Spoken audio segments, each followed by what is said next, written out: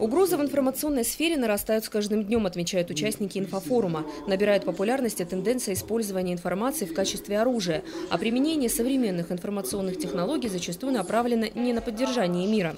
Вопрос стоит достаточно остро, и только совместными усилиями, уверены чиновники, можно выработать правовые меры, которые не допустят информационных войн.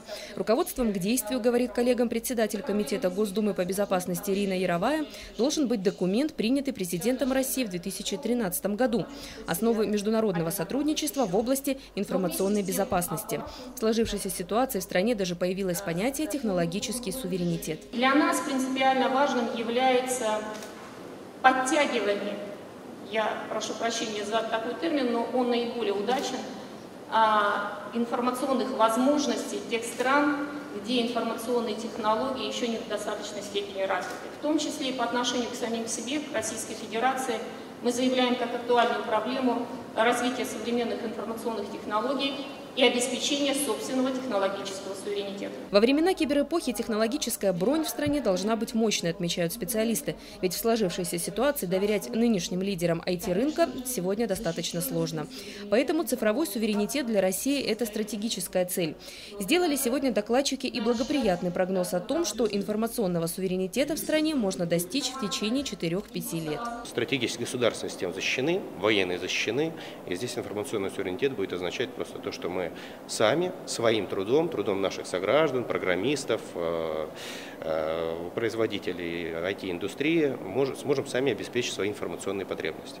Хотя, конечно, лучше делать это в конкуренции со всем миром, чтобы не только свои информационные потребности, но и э, обеспечить экспорт наших IT-технологий в другие страны. Решать проблемы информационной безопасности в киберсфере в одиночку неправильно, уверенный специальный представитель президента России Андрей Круцких.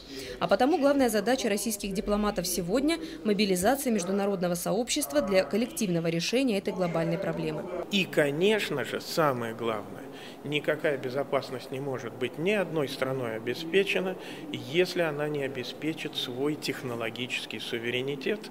И как раз наш президент, наше правительство сейчас главным приоритетом делают вот это.